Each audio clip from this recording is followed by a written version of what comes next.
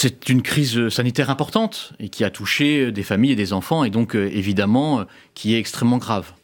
je note que ce groupe Lactalis a conservé un culte du secret qui n'est plus tout à fait ce qu'on attend d'une entreprise responsable au XXIe siècle.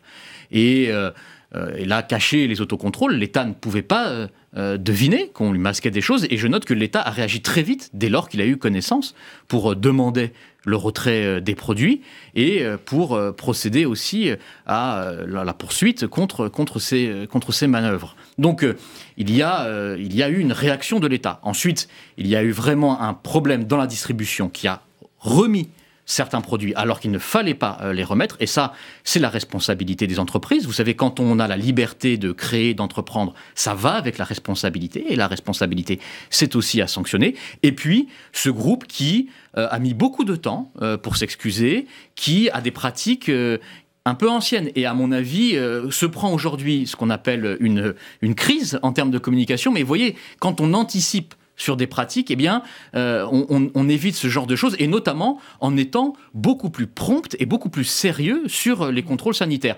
Il y a des, euh, enquêtes euh, judiciaires qui vont être ouvertes, puisqu'il y a un dépôt de plainte, et on verra ensuite la responsabilité de chacun, mais je crois que ce n'est quand même pas la responsabilité de l'État qui est engagée là, mais bien celle du producteur et du distributeur. En revanche, cela n'exclut pas euh, notamment dans la loi à venir à la mm. suite des États généraux de l'alimentation, à réfléchir à des sanctions, par exemple, plus importantes pour ce type de pratique. Le principe d'une commission d'enquête sur l'affaire Lactalis et ce type d'affaires en général a été acté euh, à l'Assemblée. Est-ce que vous pensez que la représentation nationale euh, peut faire la lumière sur, ce qui, sur cette affaire, sachant qu'elle ne peut empiéter sur des procédures judiciaires en cours? Que ça sert à quelque chose, cette, cette commission d'enquête? Ah, Je pense que la commission d'enquête sur euh, Lactalis est très utile parce qu'elle peut d'abord déboucher sur une meilleure compréhension de la situation, sans empiéter bien sûr sur l'enquête judiciaire, mais aussi sur des propositions. Déboucher sur des propositions, pourquoi pas des amendements à apporter